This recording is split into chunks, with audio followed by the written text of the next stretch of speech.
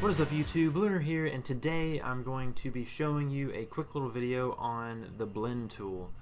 Uh, the blend tool in Illustrator basically does what it says, either blends colors or blends objects so that you get like a kind of smooth gradiated, um, I guess singular object, but you can create some really cool effects uh, with different shapes and different lines and stuff. So I'm going to go ahead and hide this for now and let's just focus on this up here. So you have a triangle, you have a star, um, select both and the blend tool icon is this over here, blend tool you can hit W.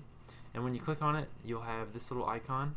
And if you click on the triangle and then click on the star you'll see that there's a plus button now. It blends it so that the triangle kind of goes into the star like forms into it. And so what you can do now is you can double click the icon to get to some blend options. It's also up in object blend and then blend options and I'm going to change to specified steps. Let's change it to 150 and let's hit preview. And then hit OK. So you can kind of see that there's a little bitty edges in there now. Um, but to maybe see this better you can double click into it select your direct select and let's make the star have a white outline. So now you can see the uh, the gradient that's going on and let's twist this a little bit. Uh, twist the uh, triangle. Let's see what that does so that kind of you know changes the blend. I kind of like it like that. And then also while you're in here you can you know change the shape of this make it a circle. That'll change the blend. You can do the same thing to the star. That kind of changes the blend. I'm gonna leave it with a triangle and a star. And you'll also notice that there is a line in here. You can move it around um, you know move the direction of the thing. And then if you get the anchor point tool you can drag out a curve. And that'll kind of like arch your star. And then let's try to add a point on this curve. And then let's move this curve around. Let's make like a S. So now you can see that we got like this really cool snake thing going on. And uh, I kinda dig it. So I'm gonna double click out of that and let me unhide these two lines. And a cool thing is that if you click this and then if you click one of the lines uh, you can go into object and then blend and then I think replace spine. And yeah it'll put your your blend onto the line that you have created. So like where the old spine was like the S curve like this S curve the new spine is this that you're replacing it with. Okay so that's cool. Uh, what else can you do with the blend tool? Well I have these two lines here. This one's kinda wonky but the bottom one looks alright. So I'm gonna select both and I'll go back to the blend tool. I'll select one line and then select the other line. And you're like well that's pretty lame. It only drew one line.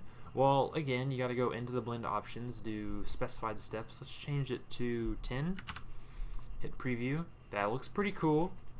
And so now you have this uh, kind of neat curvature the line thing. I don't know. It's kind of kind of cool. It reminds you of those old window uh, screensavers. And if you move one of these it'll change the curve.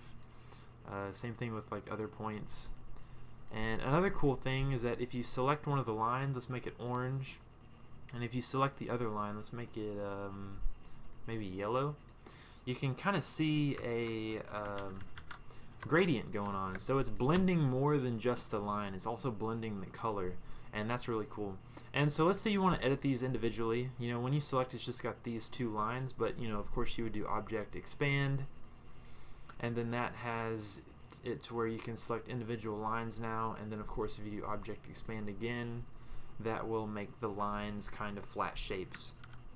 Um, and then one last one last thing you can do with the blend tool you can also do this with straight lines which I have done in the past um, for one of my, I think it was my vintage type tutorial, but you can create like a straight line and maybe give it an outline, let's say black, a two point outline, and then you can copy paste this down a little bit.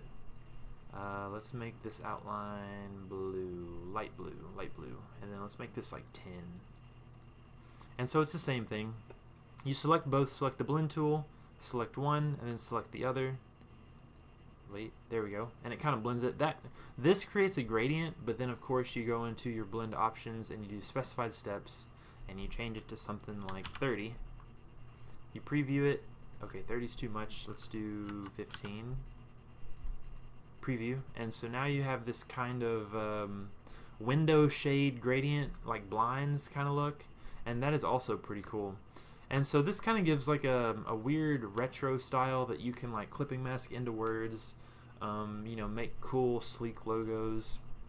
The possibilities are really, really endless. Uh, so that's it for this tutorial. Uh, I will see you guys next week with a new tutorial.